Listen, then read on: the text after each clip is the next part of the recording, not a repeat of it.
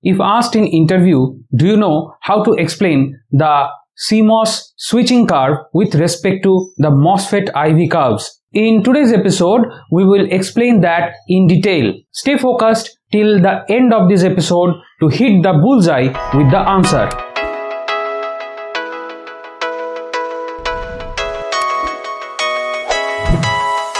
Hey guys, welcome back to the computer screen. In today's episode, we are going to discuss the below points. First, the introduction. Next, we will talk about inverter input output behavior. Then we will discuss inverter logic levels. Then you will get familiar with the real CMOS switching curves. Next, you will see the MOSFET IV curve. This is the basic IV relationship of the MOSFET and in the next point, we will extend this concept for CMOS and here we will end our episode. So that's the menu for today. Without any further delay, let's begin. Introduction. Here you can see this is a PMOS and this is a NMOS and this is the basic structure of the CMOS. This connection, this entire circuit connection is very prominent. So you can see how the CMOS connection is there. So the PMOS is tied up to VDD and the NMOS is tied down to the ground. And here we have our input and here we have our output. So keep in mind in the points we are going to discuss about this in this page Complementary metal oxide semiconductor that is CMOS is a type of metal oxide semiconductor field effect transistor that is MOSFET fabrication process that uses complementary and symmetrical pairs of P-type and N-type MOSFETs for implementation of logic functions. So this circuit is used in digital logic circuits. If you look at this, this is a very analog circuit. So this is a MOSFET, this is a MOSFET, this combination acts as a building block of any digital circuit. Important characteristics of CMOS devices are high noise immunity and low static power consumption. So these are the reasons why this particular circuit is used as a building block in digital circuits. Since either one transistor of the MOSFET pair is always off the series combination draws significant power only momentarily during the switching operation. What we are saying here that either this PMOS or NMOS will be on at a time. So depending here we give 1 or 0 and in output we get 0 or 1. In either of these states either this PMOS will be on or the NMOS will be on. So there is a rare situation where both are on. It is not there. So the power consumption is very very low.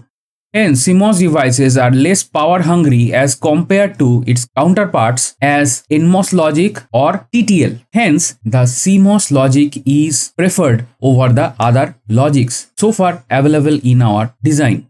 Consequently, CMOS is used to integrate a high density of logic functions on a VLSI chip. Because of the, the power hungry reason and there is noise immunity low static power consumption. So all these things make it a essential candidate to be integrated in high density logic functions in a VLSI chip. Here we are done with this particular slide. So let's move on to the next slide.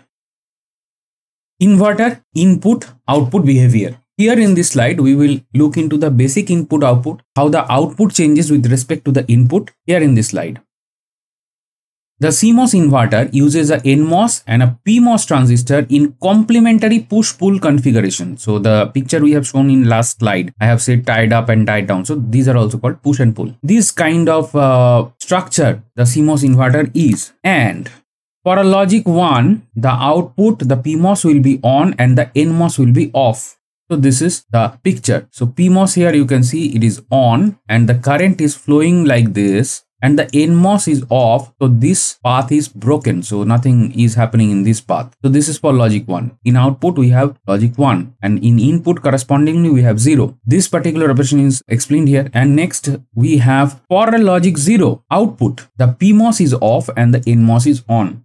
So here you can see here we have input 1 and we have the output 0. So here the PMOS is off. So this path is broken. Only this path is working and you can see this way the current is flowing. So this is the basic CMOS operation. There is a very, very, very basic operation how the CMOS operates as a digital candidate to make space for all the logic bits that is digital in nature with its analog circuit inbuilt. We have an analog circuit here. So you can see this is a MOSFET, this is analog one, right? In nature. However, it is functioning as a digital unit. That means when the input is 0, output is 1 and when the input is 1, output is 0. So this is the behavior of the CMOS circuit. Now here we are done with this particular slide. So let's move on to the next slide. Inverter logic levels. Here we have a very simple graph here. So you can see here. Now this is v in this is v out right? And this is the ground level. So this level is ground and this level is vdd right? In this picture we see the transition right? So v in changes from zero level to the high level and correspondingly the output changes from high towards the low. And here you can see the high is a band here and the low is a band here and in between we have a region which is forbidden. That means we cannot say either this is 0 or 1. This is the basic digital logic and let me explain with the bullets.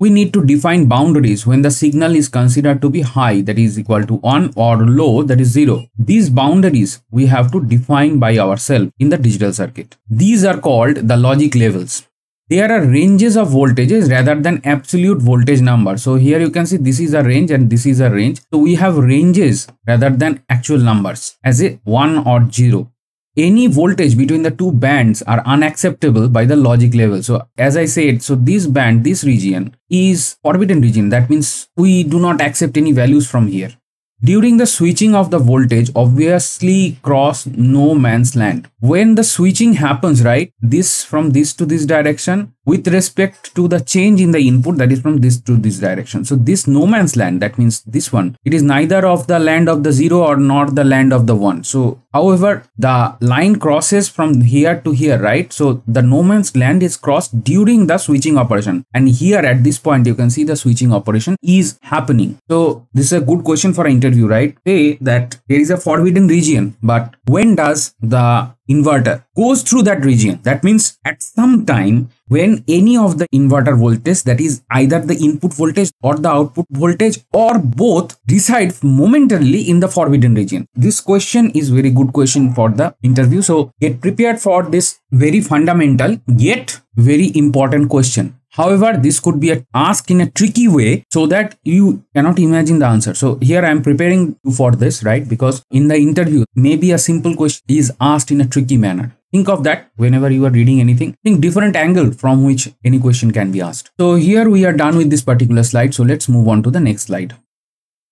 Here in this slide, we will talk about the real CMOS switching curves.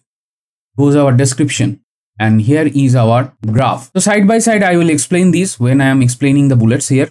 And real inverter, the output does not switch instantaneously. So you can see this switching is not instantaneous. It takes some time. However small, this takes some time. The two, there are two critical points on the real curve which occur when the slope is minus 1. So these are the two points we are talking about here.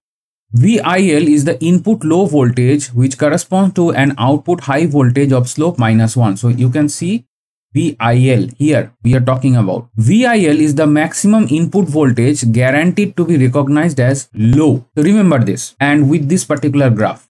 VIH is the input voltage which corresponds to an output low voltage of slope minus 1. So you can see here it is minus 1 again and this is VIH. VIH is the minimum input voltage guaranteed to be recognized as high. So these are terms related to the CMOS circuit. Please remember them. Now VOH is the output voltage when the output logic level is 1. Here you can see VOH and here the output logic level reached 1 and VOH is the minimum output voltage guaranteed when driving a high. These are the different parts of the switching curve. So this entire graph is for the switching curve and I am explaining bits and pieces of it. VOL is the output voltage when the output logic level is 0.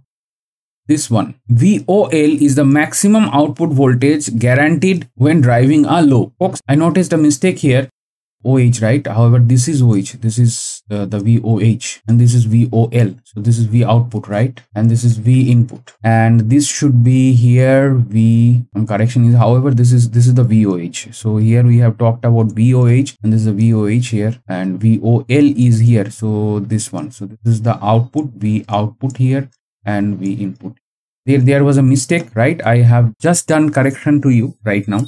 Here you can see VTH, the threshold voltage, the point at which V out equal to V in. So here you can see this is I think Y equal to M X format, right? This, this straight line. Here at this point, right, we have the V out equal to V in. So this V out and this V in are same. Here this one is threshold voltage and we are done here with this particular slide so let's move on to the next slide MOSFET IV curve. So in this particular slide, we will talk about the basic regions in a MOSFET IV curve. Why we are talking about this? Because we extend this concept to the CMOS switching curve. And if I do not touch base this point, however, you know already this point, the instantaneous correlation between the MOSFET IV curve versus the CMOS IV curve, it will become very difficult for you. So here goes our bullets and here is our curve. You can recall this uh, graph that is VDS versus ID, right? I think you know already this. So let me explain with the bullets here.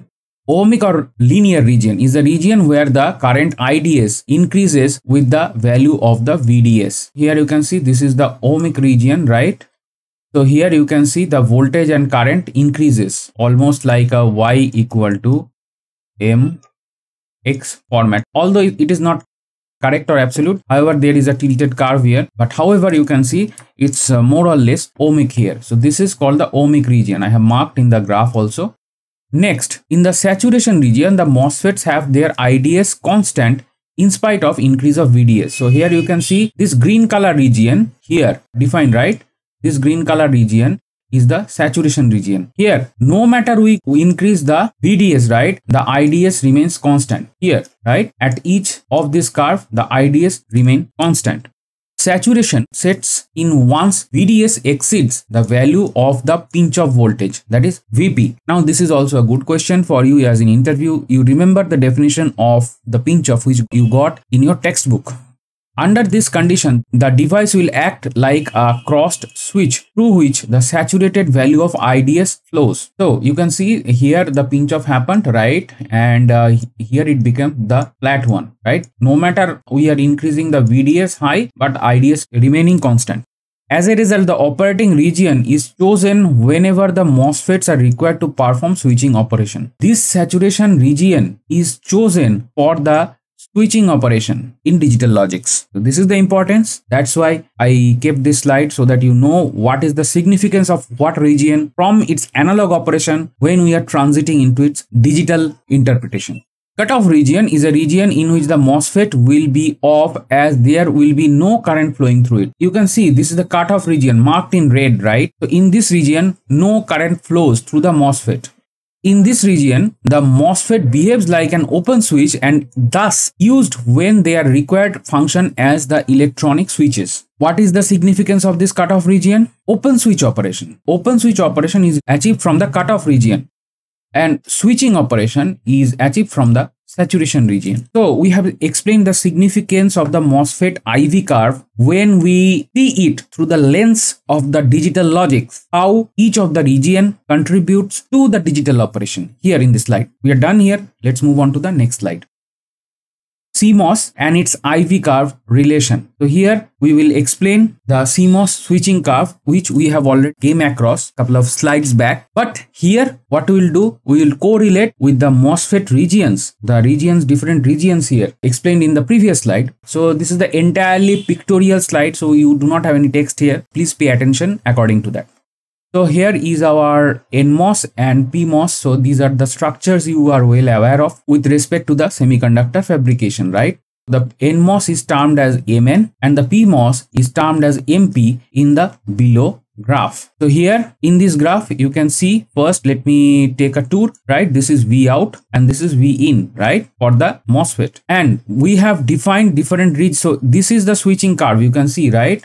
It is going from this switching curve. We have stretched the graph so that you can understand it well. However, this happens in a very short time period. So you can see this from this has been zoomed so that you can understand each different region. So this is region 1, this is region 2, this is region 3, this is region 4 and this is region 5. Now you are familiar with the picture. Let me point the different regions which are correlating with the MOSFET regions. Here the MN is off in this region 1 and MP is in the linear region. Off means it's in the cutoff region. Here MN is in saturation region and MP is in the linear region in region 2. MN and MP you are familiar from the above picture right and in this region 3 both are in saturation. As we have said, the saturation region is used for the switching operation. Next, here in the region 4, we have Mn in linear and MP in the saturation region. So this is for region 4 and in region 5 we have mn in the linear region while the mp is the off that means the cutoff region now you are well enough equipped to answer the interview question when asked that how the cmos switching is happening with respect to its mosfet operation of the each individual component that is the nmos and the pmos so i think we are clear here and we're done here with this particular slide. So let's move on to the next slide.